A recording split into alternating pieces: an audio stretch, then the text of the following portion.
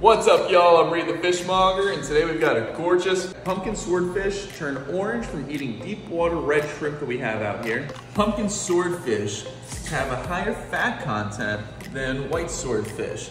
This will be the butteriest swordfish you've ever eaten. Wait until you see the cross section of this beautiful fish and how much fat is in it.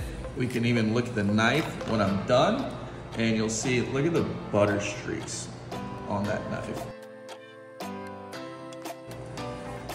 Look at that. That is wild.